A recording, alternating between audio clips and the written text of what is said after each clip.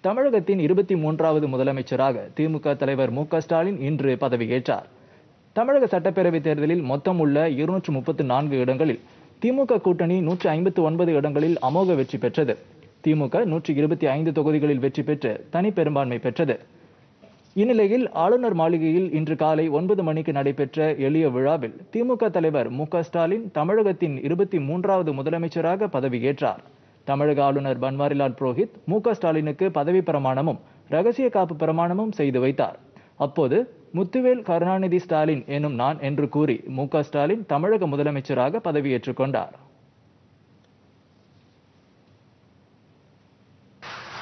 I, M. K. Stalin, Muthuvel Karunanidhi Stalin என்னும் நான்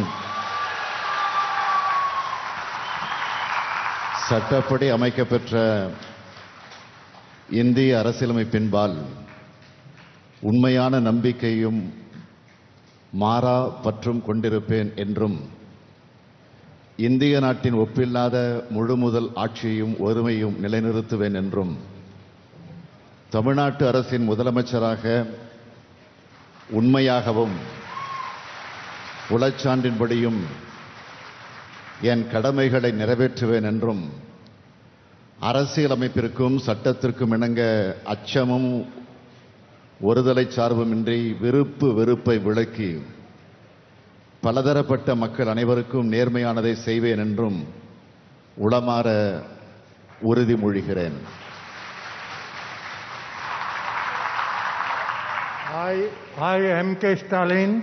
முத்துவேல் கருணாநிதி ஸ்டாலின் என்னும் நான் தமிழ்நாட்டு அரசின் முதலமைச்சர் என்ற முறையில் எனது கவனத்துக்குள்ளாவதும் தெரிய வருவதுமான எந்த பொருளையும் முதலமைச்சரின் கடமைகளை உரியவாறு நிறைவேற்ற தேவையான அளவுக்கன்றி ஒருவரிடமோ பலரிடமோ நேர்முகமாகவோ மறைமுகமாகவோ அறிவிக்கவோ வெளிப்படுத்தவோ மாட்டேன் என்று உளமாற உறுதிமொழிகிறேன்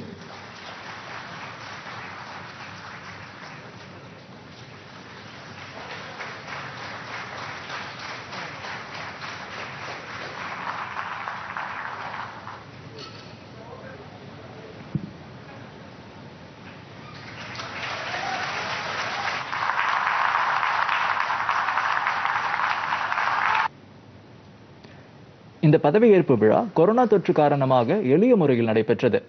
விழாவில் காங்கிரஸ் கட்சி சார்பில் தினேஷ் குண்டுராவ் கே எஸ் அழகிரி ப. சிதம்பரம் ஆகியோரும் அஇஅதிமுக சார்பில் அக்கட்சியின் ஒருங்கிணைப்பாளர் ஓ. பன்னீர்செல்வம் பிஜேபி சார்பில் இல கணேசன் மதிமுக பொதுச் செயலாளர் வைகோ பாமக தலைவர் ஜி. கே. மணி மக்கள் நீதி மய்யம் கட்சியின் தலைவர் கமல்ஹாசன் உள்ளிட்டோரும் முதலமைச்சர் மு க ஸ்டாலின் குடும்பத்தாரும் கலந்து கொண்டனர்.